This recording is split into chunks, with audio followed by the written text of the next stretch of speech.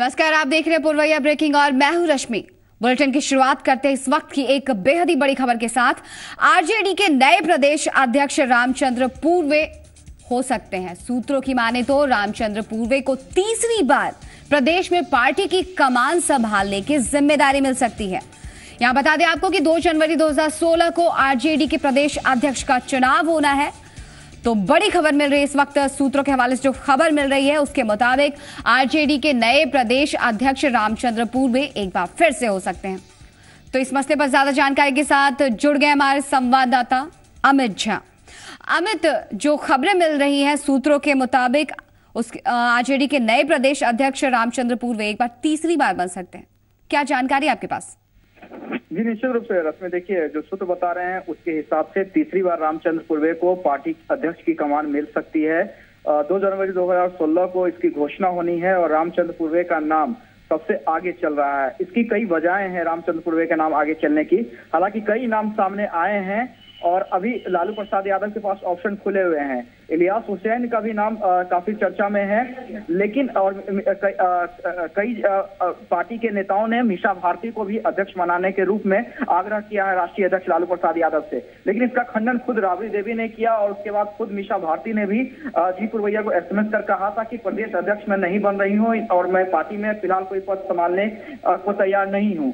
तो ऐसी स्थिति में जो कई नाम आगे हैं तो रामचंद्र पूर्वे को इसलिए कमान मिल सकती है क्योंकि लालू यादव देख रहे हैं कि पार्टी ने चुनाव में अच्छा प्रदर्शन किया है उसमें एक अहम भूमिका रामचंद्र पूर्वे की भी है। और ऐसे में कई अगर दूसरे नाम को सामने लाया जाता है तो पार्टी में नाराज़गी बढ़ सकती है क्योंकि कई ऐसे नेता हैं जो इस पद के दावेदार हैं। तो ऐसे में तमाम चीज़ों को रोकने के लिए, तमाम नेताओं की नाराज़ को नेताओं की नाराज़गी को रोकने के लिए रामचंद्र पूर्वे के ट्रैक रिकॉर्ड को देखते हुए उन्हें तीसरी बार अध्यक्ष बनाया जा सकता है रश्मि। जी अमित, अगर रामचंद्र पूर्वे के अलावे किसी नाम की बात करें तो वो कौन कौन से नाम है जो इस पद के लिए हो सकते हैं? जी देखिए एक इलियास हुसैन का नाम काफ़ी चर्चाओं में है। इलियास हुसैन इस बार चुनाव जीते हैं और काफ़ी विश्वस्त रहे हैं। पार्टी के अंदर भी काफ़ी दिनों संगठन में भी उन्होंने काम किया है। तो एक इलियास हुसैन का भी नाम सामने आ रहा है। लेकिन जैसा कि उसमें मैंने कहा कि कई ऐसे नेता हैं जो अंदर खाने मीसा भारती को पार्टी अध्यक्ष बनवाना चाहते हैं। कुछ नेता ऐसे हैं जो इलियास हुसैन को नेता बनवाना चाहते हैं तो ऐसे में नेताओं की नाराज़गी को रोकने के लिए, क्योंकि रामचंद्र पूर्वे के नाम पर किसी को नाराज़गी नहीं होगी, ऐतराज नहीं होगा, क्योंकि कई दिनों से पार्टी अध्यक्ष की कमान संभाल रहे हैं, काफ़ी बुज़ुर्ग हैं, काफ़ी एक्सपीरियंस है तो ऐसे में रामचंद्र पूर्वे को अगर बनाया जाता है पार्टी प्रदेश अध्यक्ष की कमान दी जाती है तो किसी को नाराज़गी नहीं होगी, इसलिए उनका नाम फ़िलहाल सबसे आगे चल रहा है। रश्मि। जी अमित, जिस तरह से डेट है चुनाव की 2 जनवरी 2016 को ये चुनाव होना है तो सुख बुगाहटे कुछ पहले ही नहीं आने लगी हैं। जी निश्चित रूप से शुरुआतें पहले हैं और कई दिनों से आपने देखा होगा कि 10 दिन पहले मिसा भारती का नाम अचानक कई चैनल और अखबारों में आया था कि मिसा भारती को आ, ये कमान मिल सकती है। लेकिन जी पुरवैया ने ही ब्रेक किया था कि राबड़ी देवी ने जी पुरवैया से कहा था कि नहीं ऐसा कुछ नहीं है मिसा भारती प्रदेश अध्यक्ष नहीं बन रही है। और उसी रात को मिसा भारती ने खुद एसएमएस किया था जी पुरवैया की टीम को कि नहीं मैं अभी पार्टी अध्यक्ष नहीं बनने जा रही हूँ कोई पद नहीं जी तो पार्टी अध्यक्ष तो के पद को लेकर मीसा भारती ने सिरे से खारिज किया है इस बात को कि वो इस रेस में कहीं से नहीं है और फ़िलहाल जो खबरें मिल रही है उसके मुताबिक लगातार तीसरी बार रामचंद्र पूर्वे इस पद को संभाल सकते फ़िलहाल इन जानकारियों के लिए बहुत बहुत शुक्रिया आपका अमन। तो रामचंद्र पूर्वे हो सकते हैं नए प्रदेश अध्यक्ष पार्टी के। अगर इस बार फिर से वो बनते तो लगातार तीसरी बार वो पार्टी की कमान संभालने जा रहे हैं।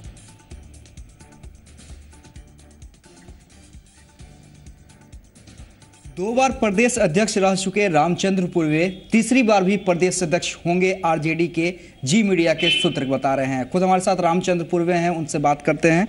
पूर्वे जी, तीसरी बार प्रदेश अध्यक्ष बनने की पूरी संभावना है आपकी? हमारे सूत्र बता रहे हैं कि आपके नाम पर पार्टी के अंदर मुहर लग गई है। आपका क्या कहना है? अभी जो संगठनात्मक चुनाव में जो भी दायित्व जिम्मेवारी मुझे दी जाएगी, उसी निष्ठा के साथ, ईमानदारी के साथ अपने नेता लालू प्रसाद यादव के नेतृत्व में निभाने का काम मैं करूँगा। आगे क्या होगा इसकी जानकारी मुझे नहीं है। निश्चित रूप से आ, आ, चुनावी प्रक्रिया है पूर्वे जी। सबको इसका पालन करना है। आप खुद प्रदेश अध्यक्ष हैं और इसका पालन कर रहे हैं। लेकिन एक सवाल का जवाब बस मुझे दे दीजिए। एक जनवरी दो, 2016 को रामचंद्र पूर्वे प्रदेश अध्यक्ष के रूप में नामांकन करने जा रहे हैं कि नहीं? सवाल है कि नॉमिनेशन हो चाहे जो हो जो हमारे राष्ट्रीय अध्यक्ष का निर्देश होगा, उसी का अनुपालन डॉक्टर रामचंद्र पूर्वे करेगा। यही हमारी राजनीतिक जीवन का मर्यादा रहा है। चलिए रामचंद्र पूर्वे खुलकर कुछ नहीं बोल रहे हैं, लेकिन जो अनुशासन वो दिखला रहे हैं बातचीत में, शायद वही वजह है कि तीसरी बार लालू प्रसाद यादव ने मन मना लिया है कि रामचंद्र पूर्वे प्रदेश अध्यक्ष के रूप में आरजेडी को आगे बढ़ाएँगे। कैमरा पर्सन निशांत के साथ अमित झा, जी मीडिया, पटना। चलिए, बढ़ते आगे मोतिहारी से। इस वक्त एक बड़ी खबर मिल रही है, जहाँ वनकटवा में ग्रामीणों ने काला हिरण का शिकार कर दिया है। जंगल से भटक कर काला हिरण गाँव पहुँच गया था और इस दौरान ग्रामीणों ने काले हिरण का शिकार कर दिया है।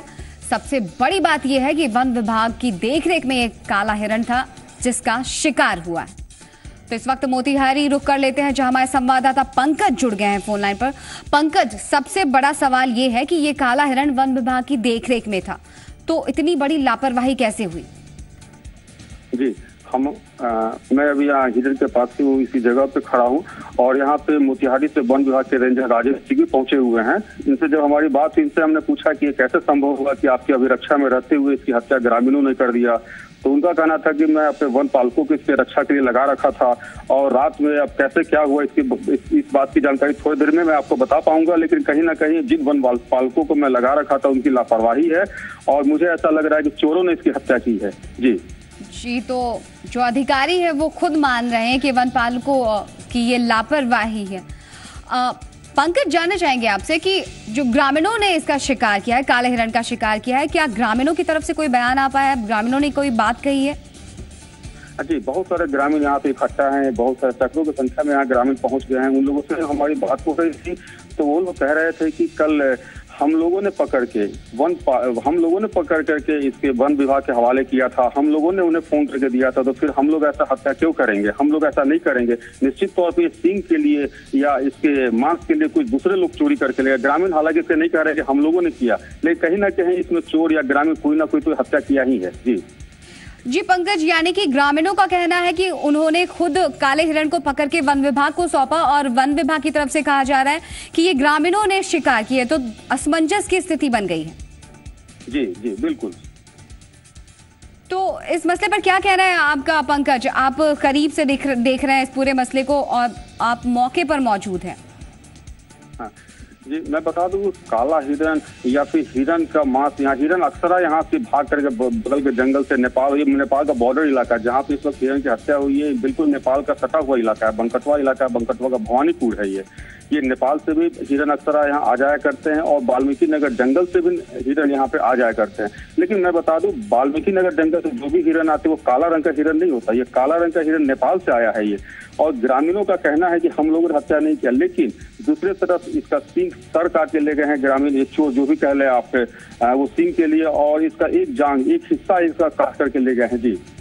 जी, पंकज फ़िलहाल इन तमाम जानकारी के लिए बहुत बहुत शुक्रिया आपका। तो अपडेट ये है कि ग्रामीणों का कहना है कि उन्होंने काले हिरण का शिकार नहीं किया है। वहीं दूसरी तरफ़ वन विभाग की तरफ़ से कहा गया है कि शिकार ग्रामीणों ने किया है।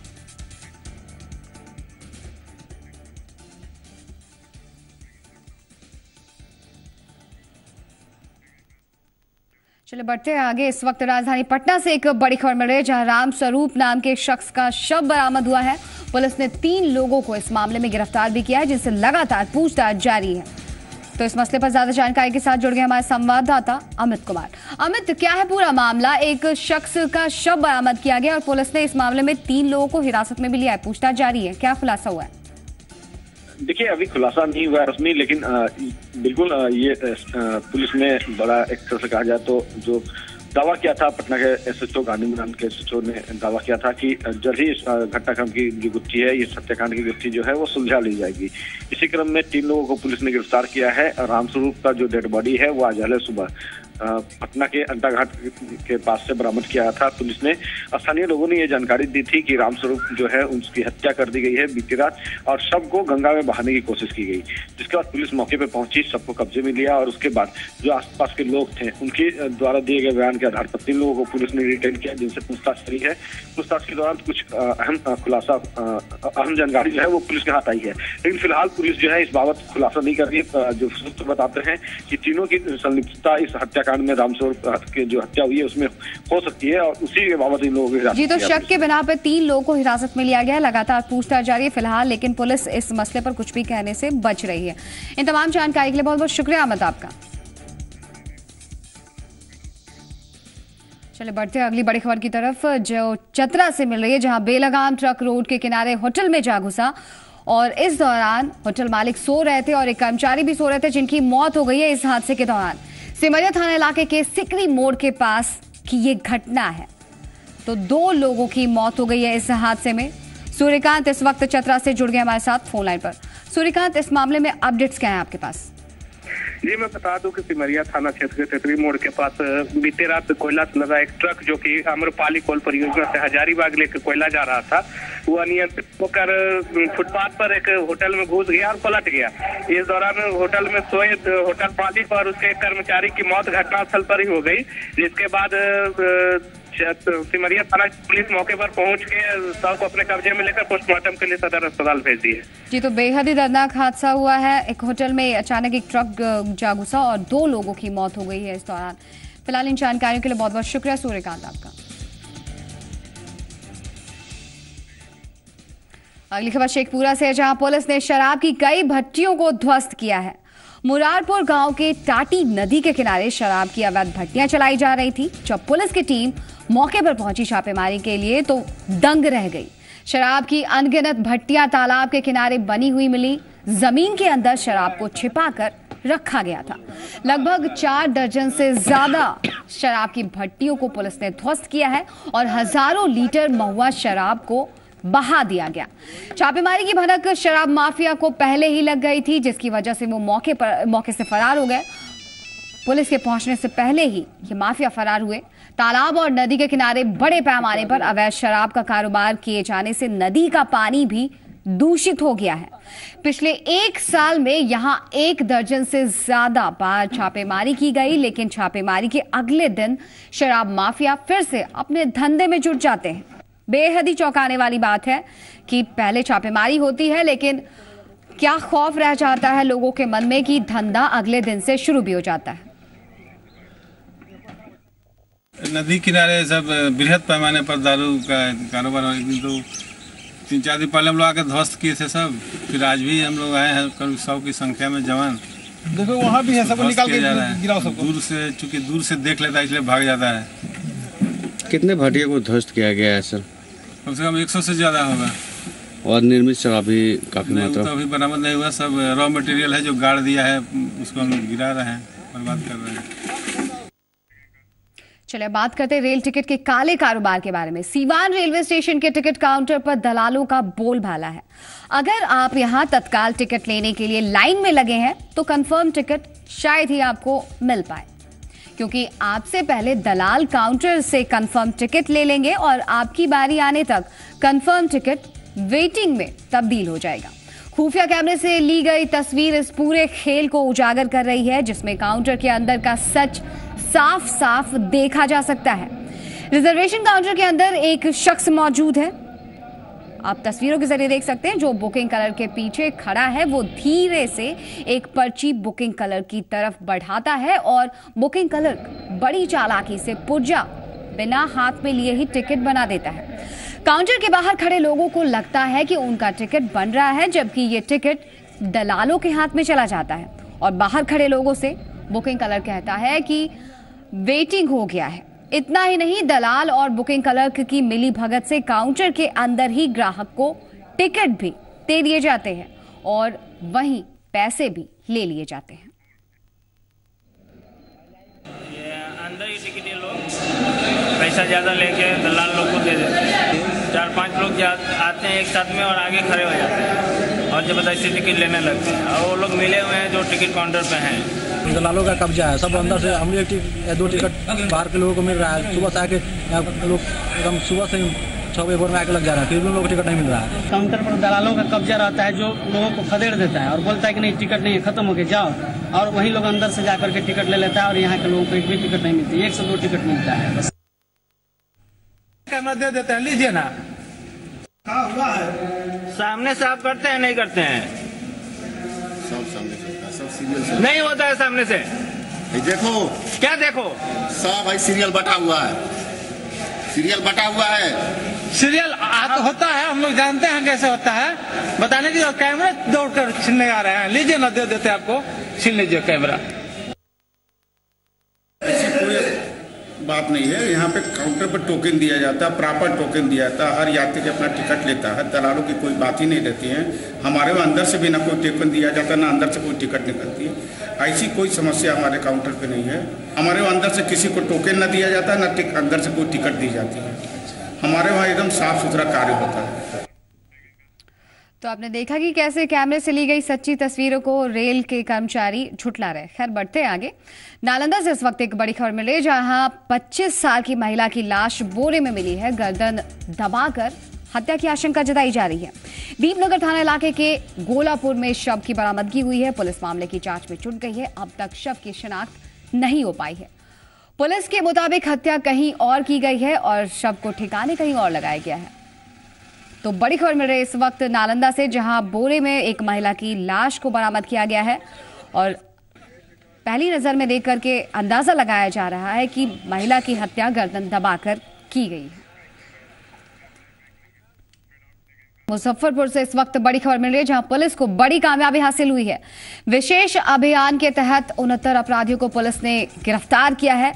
और अपराधियों के पास से एक पिस्टल, दो गोली बरामद हुई है और बता दें आपको कि नौ लूट, छह हत्या, दो डकैती सहित कई मामलों में इनकी तलाश थी पुलिस को।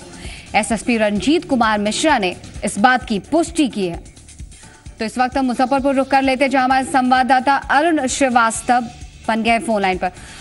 अरुण, क्या कुछ अपडेट है आपके पास? पुलिस को बड़ी कामयाबी मिली है।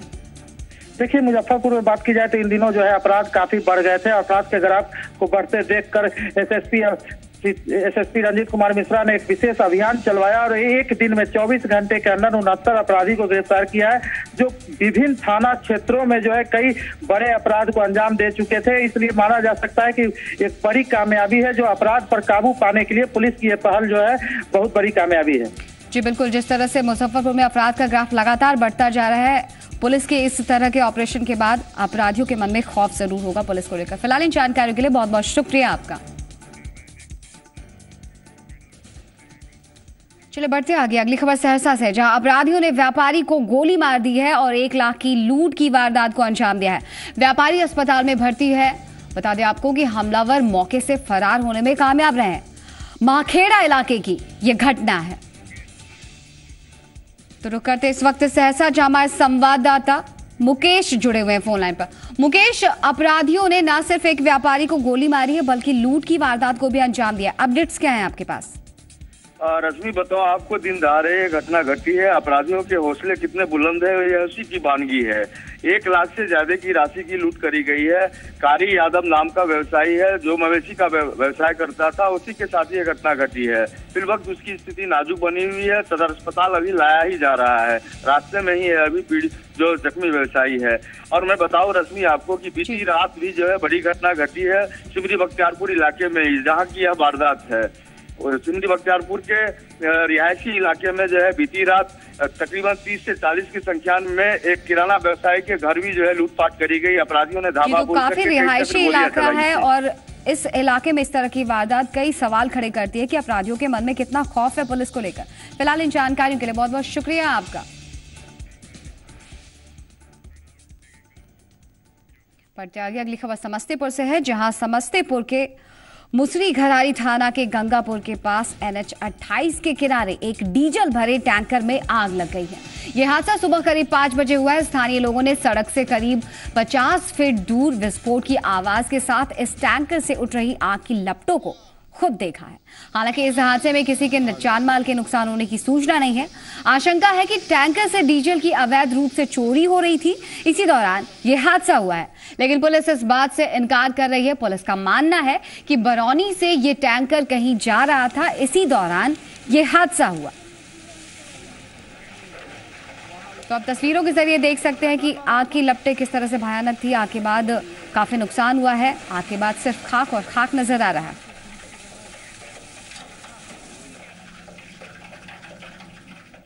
यहाँ आए तो देखे आग लगी हुई थी। किस चीज़ में आग लगा हुआ? यहाँ टे- टैंकर है हाँ। और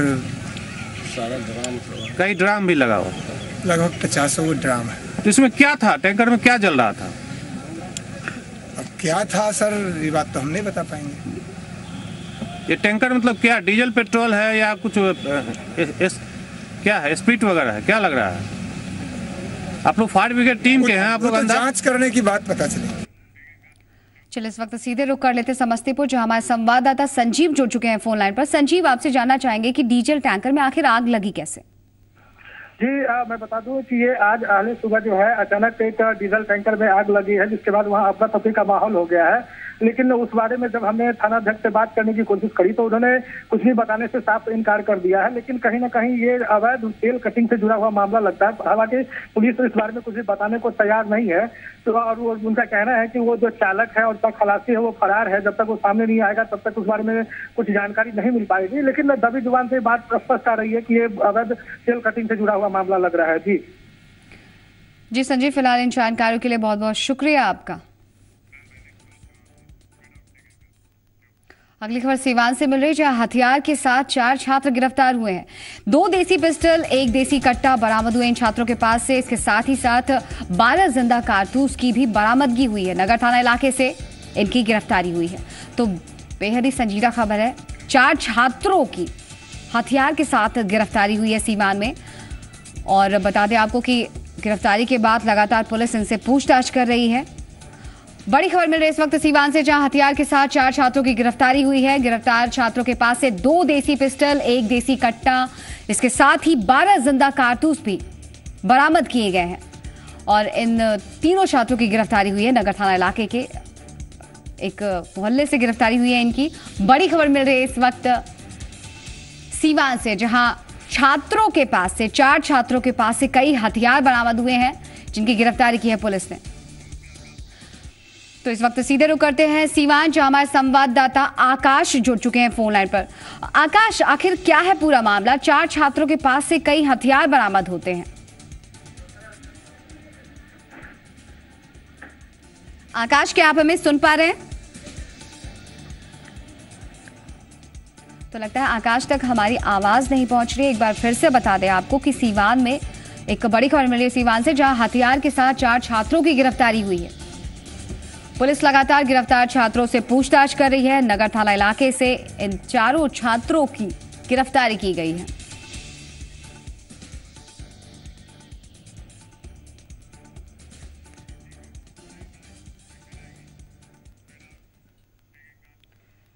एक राहत भरी खबर दे दें आपको कि खगड़िया में ट्रेनों की आवाजाही शुरू हो गई है। इससे पहले आम्रपाली एक्सप्रेस के पटरी से उतरने से ट्रेनों की आवाजाही रात एक बजे से ही बाधित थी।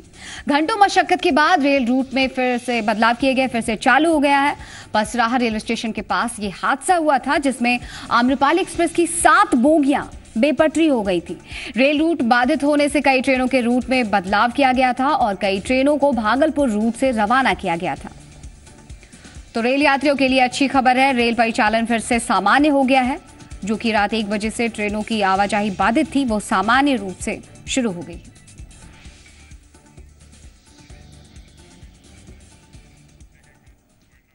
जी तो फ़िलहाल इस बुलेटिन में इतना ही, लेकिन देश और दुनिया की तमाम खबरों के लिए देखते रहिए सीपुर भैया नमस्कार।